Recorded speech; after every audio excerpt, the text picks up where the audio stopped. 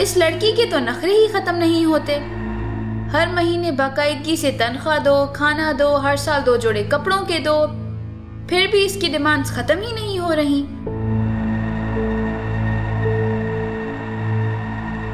अब इस शहजादी को ईद पे नया जोड़ा चाहिए। इस पहली पर इसका चचा तनख्वाह लेने आए तो कह दूँगी उसे कि ले जाए अपनी लाडली को।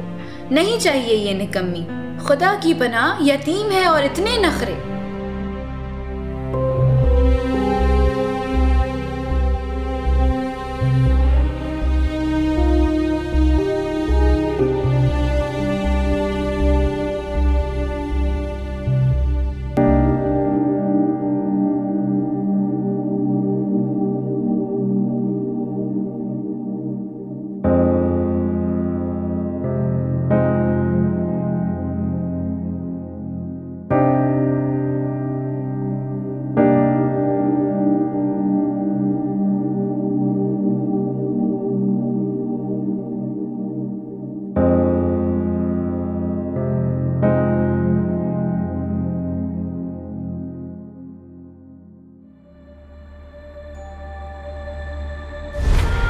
गई तुम?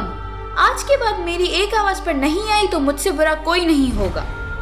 टाइम देखा है काम चोर अब खड़े खड़े मेरी शक्ल क्या देख रही हो? जाओ जाकर कपड़े धो। और सुनो, जान लगाकर कपड़े धोना। रोटियाँ तो दो दो ठूस लेती हो। अगर एक भी कपड़े पर मुझे दाग नज़र आया तो मैं तुम्हें धो दूँगी। जाओ अब निकलो यहाँ से।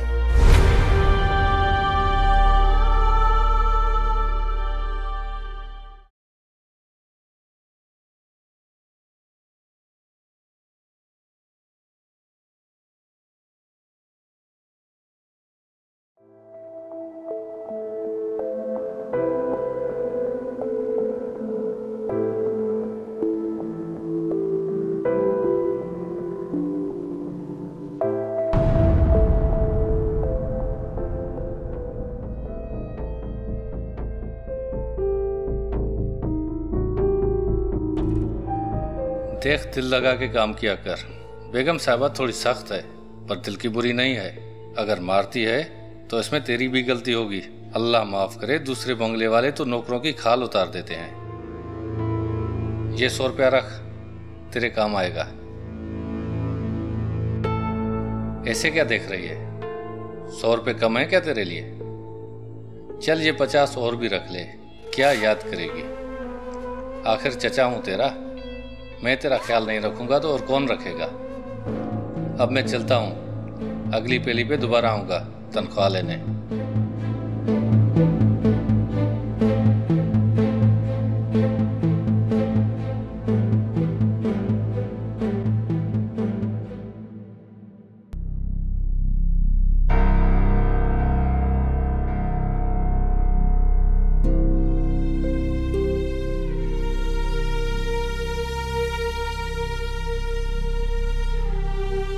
भाभी, ये बच्ची मैं अपने साथ ले जाता हूँ। मेरे घर में ज़रूरत है किसी झाड़ू पोछा लगाने वाले की। ये निकम्मी किसी काम की तो नहीं है भाई साहब। आगे जैसी आपकी मर्ज़ी।